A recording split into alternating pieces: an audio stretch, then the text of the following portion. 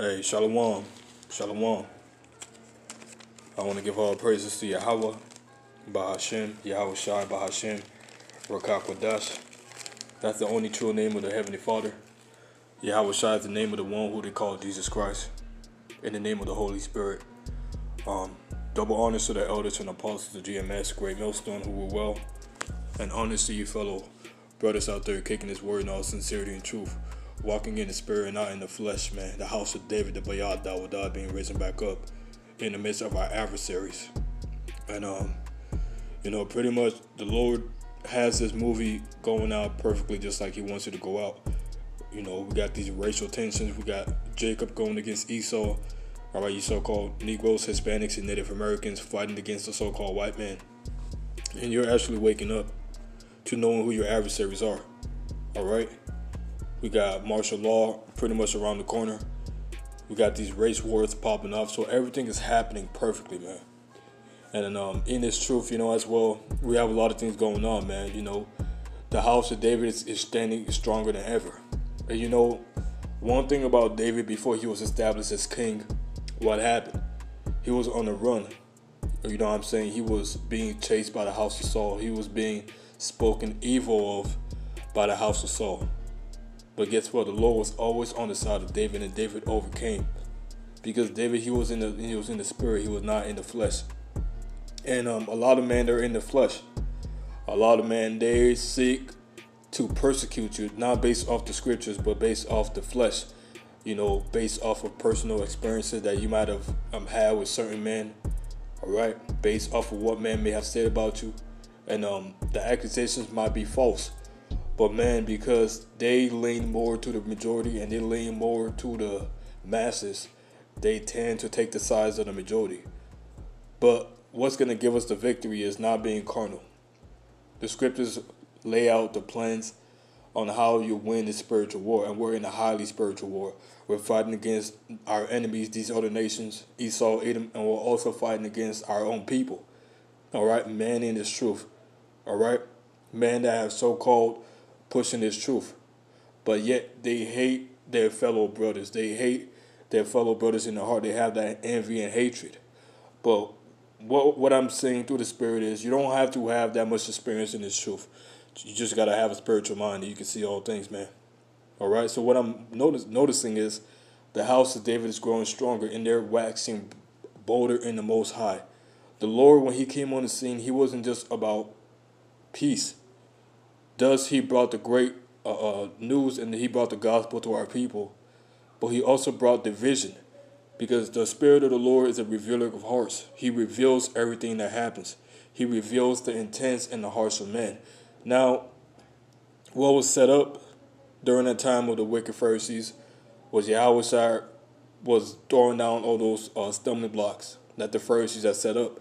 Why? Because they were they were set up to be those wicked guys that had to act. They put on these garments as if they were righteous, but deep inside they were really wicked men. So I'm going to start at Luke chapter 2 and verse 34. And Simeon blessed him and said unto Mary his mother, Behold, this child is set for the fall and rising again of many in Israel. So Yahweh Shall he was set for a fall and a rising against of many in Israel, and for a sign which be spoken against. So if Yahweh was was that way, if he was to be spoken against, then his his his little ones are going to be the same way. See, the elect they're not going to be accepted by the masses, man. The elect will not. The elect are not put on this earth to be accepted. Now we call ourselves the hopeful elect. So the mindset that we're in, you know, me, and the brother preaching the truth. We're not in this to be liked by the masses. It's not about that. You can have any type of acronym on your name GMS, IUIC, ISUPK. All right? You can have any of those titles, even within our own little sanctuary. That doesn't mean you're a man of the Lord. That does not mean you're going to make it.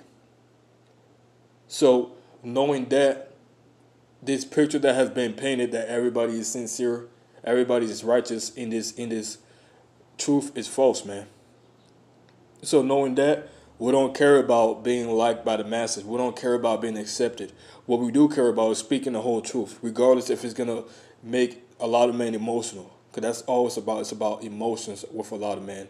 It's not about the truth. And a lot of men they hate certain men not based off what the scriptures say, because it's not about the doctrine. You know, we follow. We're under the guidance of the apostles and elders of GMS. It's not about the doctrine. It's not about us being lukewarm because we're hot for the Lord. We can say that. We do this work every single day. All right. And though it's not about works, it's all about your in, the intents of your heart. It's all about your effort. It's all about the, the your mindset, your spiritual mindset that you have towards the Most High. But even in that, with you bringing out the whole truth, you you pinpointing certain topics that men don't want to talk about. That men are lukewarm. Men are really demons in this truth.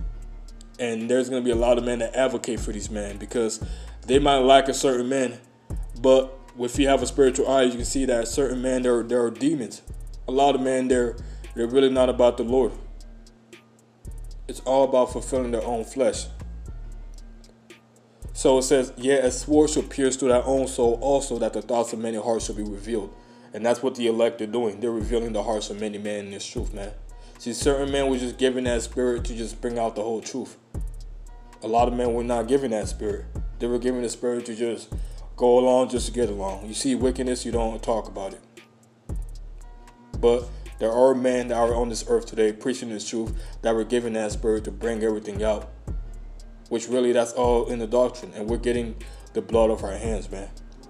Yet, you see the house of David is growing stronger. And the house of Saul is getting weaker. Because what happened with the house of Saul? They came against the house of David. Saul wanted to kill David. You know, David had all the opportunities to kill Saul, but what? He kept it spiritual. And that's exactly what we do. That's how you win this battle. You, we don't get carnal, we keep it spiritual. All right? That's how you win, man. Psalms chapter 120 and verse 6. My soul hath long dwelt with him that hateth peace. You know, so we're in this battle. So if you don't want to speak the whole truth or if you get offended at certain men because of what they bring out, then why the hell are you in this battle? Why are you fighting to get fight of faith? Where the scriptures say, Who's going to stand up for me against the evildoers? Not just somebody that's going to preach the truth and not say a damn thing about the wickedness that's going on. We talk about Esau, the wickedness that's going on with these different nations. We talk about everything that's happening, man. But when it comes to our own people in this truth, you got to understand that a lot of men, they were rejected by the Most High. Yahawashi, his spirit condemned a lot of men because they, they try to fall on that stone, but they were broken to pieces, man. So it says, I am for peace, but when I speak, they are for war. So when, when we speak, guess what? The demons that were in men, it gets it gets brought out. Because it's not about the scriptures, it's all about how men feel. It's not about your fucking emotions, man. It's all about what the scriptures say. And if you get offended at men for bringing out the scriptures, you're offended at the spirit of Yahweh Shin outside, and that's going to get you killed. A lot of you guys, you guys are not examining yourself, man.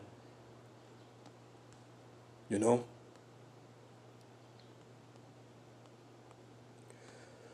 Let me get this other precept right here.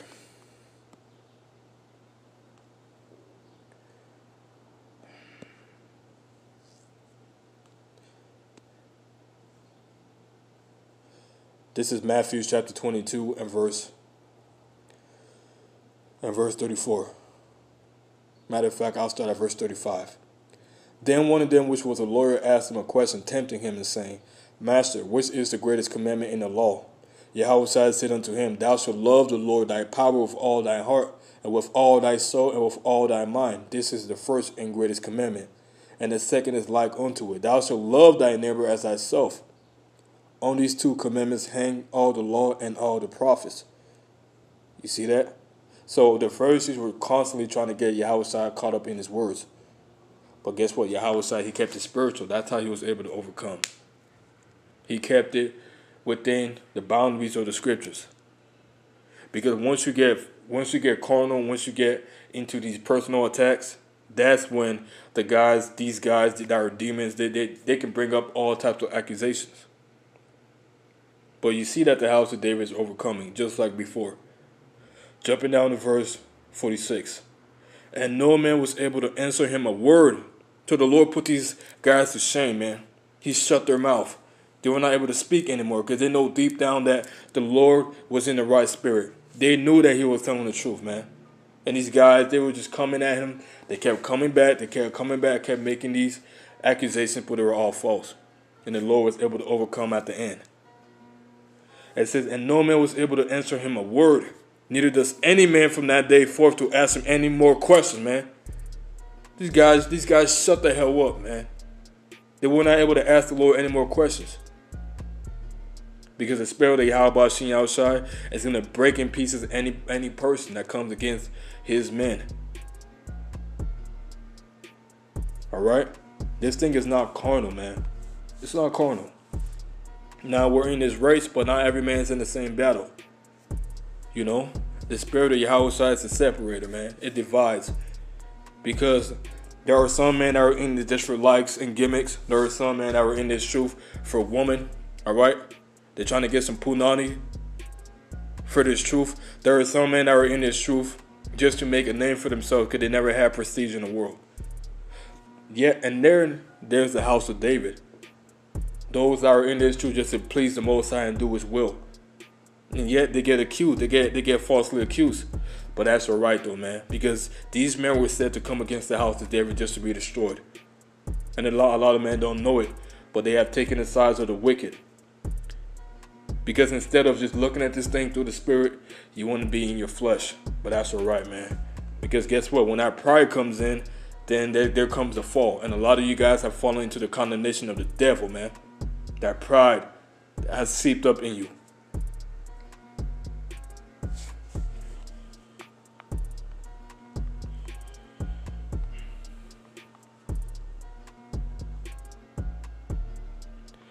So this is First Peter chapter 3.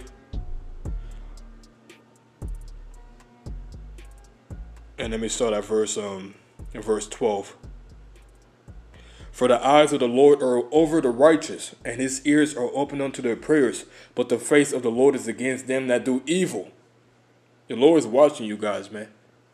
You know, you might be talking behind the doors, you might be saying this and saying that. Hey, the scripture say, if you shall offend one of the Lord's little ones, it was better for a damn millstone to be tied upon your neck and you cast into the sea. You know, a lot of you guys hate man because he's not in your group or because you don't agree with him out of eye. It's not about the scriptures with you guys. It's all about a personal vendetta. if you guys don't repent, you guys are going to be destroyed, man. And who is he that will harm you if you be followers or that which is good? But if you suffer for righteousness' sake, happy are ye. And be not afraid of their terror, neither be troubled. But sanctify the Lord Yahweh in your hearts, and be always ready to give an answer to every man that asks you a reason of the hope that is in you with meekness and fear. And the, and the reason of our hope is to please the Lord, not to please men. See, if, if, you, if you're doing this for men, then guess what? You're not going to bring out the whole truth. You're going to be ashamed of bringing out certain topics because of how a man may feel. It ain't about men. It ain't about how a man feels. It's about speaking the whole truth, man. And if that means, you know, you being hated and you being spoken evil of, that's okay. Because all the prophets were hated. All the prophets were spoken evil of.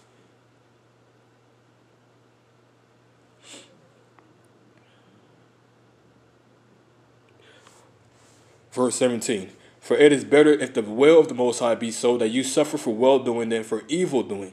For Yahweh also has once suffered for sins that, that uh, the just for the unjust, that he might bring us to Yahweh, being put to death in the flesh, but quickened by the Spirit, but which he also went and preached unto the spirits in prison.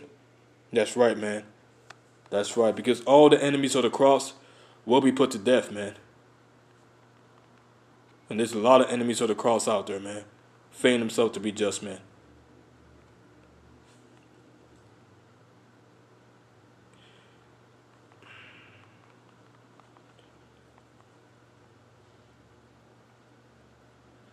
Isaiah 33 and verse 14.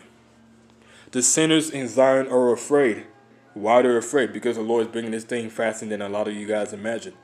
And really, if you're if you're really a demon, if you're really not sincere and you're doing this work, if, you're, if your whole heart's not into this, If you're just doing it just to do it, just to meet uh meet the plateau, to meet the goal of three videos a week, and you're really not sincere, you're making all types of excuses, you're in that lukewarm spirit, the Lord's gonna spew you out, man. And your ass is gonna be put to death. It don't matter who you know. Cause this is a person by person basis. It's your relationship with the Most High and the Lord has is spotlighting a lot of guys out there that their relationship is not built with the Most High, it's with men. You know? And this is why they hate when certain topics come out. Because it's justifying the wicked and condemning the just. So it says, The sinners in Zion are afraid. Fearfulness has surprised the hypocrites. Who among us should dwell with the divine fire? And who among us should dwell with everlasting burnings? He that walketh righteously and speaketh uprightly. He that despises the gains of oppressions, that shaketh his hands from holding a bribe. So we're not in that spirit of trying to hold back the scriptures just because of how you feel. Because a lot of guys, they don't even know if they're going to make it. Yet they want to say this about you. hey, these scriptures, these scriptures cut to the heart if you're not right, man. They cut to the heart if you're really a demon.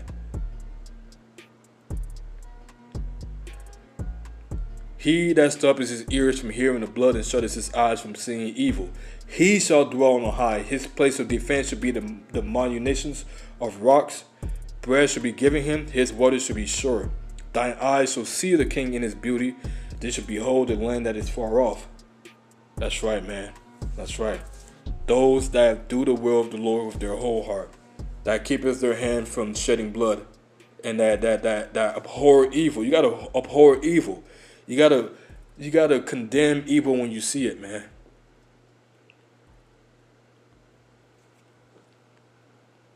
You know?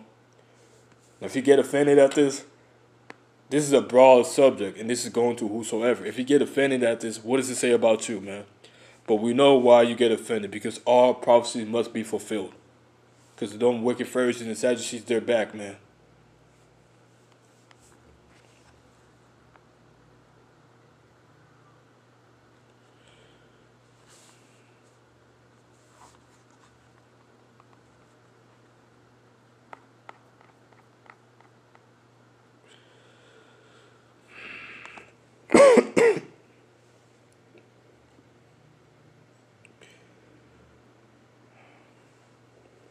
Proverbs 16 and verse 25. There is a way that seemeth right unto a man, but the end thereof are the ways of death. Right, a lot of guys have gotten that pride to seep up in them, man. They think they're doing the right thing by coming up against certain men that are teaching the same truth just like you. Hey, the ways of that is death, man, because the Lord is spotlighting every single last one of you guys, man. All right? Proverbs chapter 14 and verse 27. The fear of the Lord is the fountain of life to depart from the snares of death. That's right, man. Let me get this last precept and I'm going to close out. I pretty much got the point. The house of David can't be stopped. And all those that come up against the house of David, their mouths are being closed, man. That's why you have a lot of guys that can't go out to the highways and byways. Instead of just looking at it one way, you got to look at it the other way. What if the Lord is shutting the mouths of those guys because they're demons? The Lord does not want everybody to teach His truth, man, because a lot of guys deep inside they're not right. Deep inside, these guys are fucking demons, man. They have hate, they have envy in their hearts, but they're still teaching this Bible.